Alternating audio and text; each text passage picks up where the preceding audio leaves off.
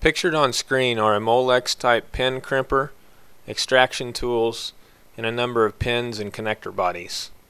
A variety of manufacturers build components similar to these, though it's common to refer to them as Molex type pins and bodies. The crimper is designed to handle a variety of pin sizes, conductor gauges, and insulation diameters.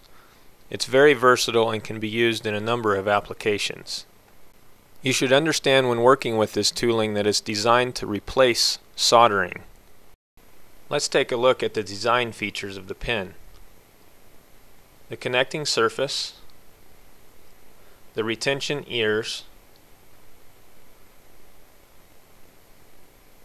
the insertion tabs keep the pin from going too deep, the conductor crimp material, and the insulator crimp material.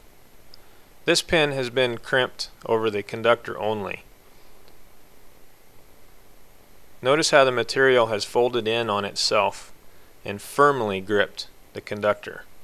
A pull test would verify this is a good crimp.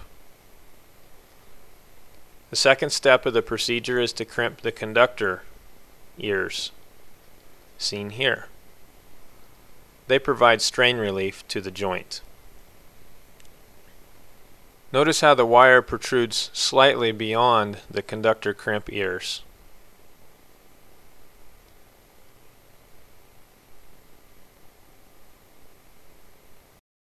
Let's take a look at how to load the pin into the crimper.